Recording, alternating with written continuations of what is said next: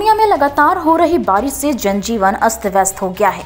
नगर निगम क्षेत्र की सड़कें गड्ढे में तब्दील हो गई है। खासकर पूर्णिया के मधुबनी से लाइन बाज़ार की ओर गुजरने वाली सड़कों पर जल जमाव को लेकर जाम का सामना करना पड़ रहा है। वहीं दुर्घटनाएँ भी हो रही है। पूर्णिया के सभी वार्डों में जल जमाव है। वहीं जल निकासी की उचित व्यवस्था नहीं होने के कारण लोगों को काफ़ी परेशानियों का सामना करना पड़ रहा है। स्थानीय लोगों ने बताया कि पिछले कुछ दिनों से लगातार हो रही बारिश ने शहर की सिस्टम का पोल खोल दिया है। वहीं नगर निगम प्रशासन जल निकासी में असफल साबित हो रहा है। अगर इस तरह की स्थिति हुई तो पूर्णिया के लोगों को काफ़ी मुश्किल का सामना करना पड़ेगा।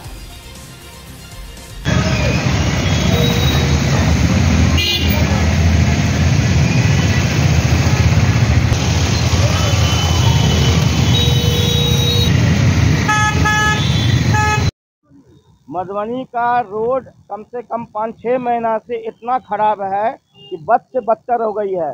पानी बरसने के बाद इतना भयानक जाम लग जाता है, रोड टूटा हुआ है, इसको कोई नहीं देखता है। इस रोड से सभी नेतागण जाते हैं, लेकिन इस पर ध्यान कभी नहीं देते हैं। नगर निगम के तरफ़ से कुछ दिन पहले उप मेयर साहब की तरफ़ से ईटा और गिट्टी बालू दिया गया था, फिर भी वो नहीं रहा और वो भी दह गया। और ये स्थिति उत्पन्न हो गई है कि रोज एक ना एक दुर्घटना होते रहती है। और इसमें प्रशासन की इतनी गड़बड़ी है कि प्रशासन इस पर ध्यान नहीं देता है कि कल कोई बड़ी घटना हो सके। मेरा नाम बबलू केसरी।